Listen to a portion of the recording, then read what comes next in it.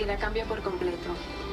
La joven enfermera sin nada de experiencia como reina modelo se coronó como la nueva embajadora de la belleza puertorriqueña. Nunca imaginé que tendría la oportunidad de animar tantos eventos ni que lograría ser imagen de diferentes campañas publicitarias. Tampoco que aparecería en las portadas de las revistas más importantes del país, Vanidades y Caras. Gracias a Telemundo por haberme dado la oportunidad de entrar al medio de la televisión.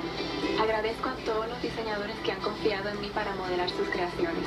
Fue un honor contribuir y conocer más a fondo diferentes causas sociales como el trabajo maravilloso que realizan en el Hogar Cuna San Cristóbal, la Fundación Susan G. Y en las admirables personas con las cuales compartí en mis visitas a distintos hospitales. Hoy entrego la corona, agradecida al pueblo de Puerto Rico, los medios de comunicación y a mis seguidores que me han apoyado tanto.